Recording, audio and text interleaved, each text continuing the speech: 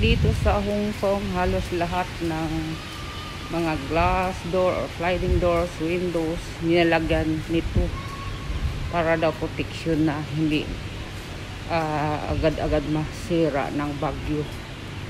Yan, halos ng mga glass dito nilalagyan nila para ah, matibay daw.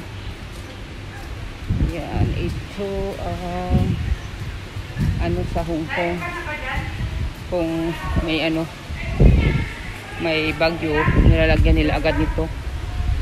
Yan. Yan oh. may mga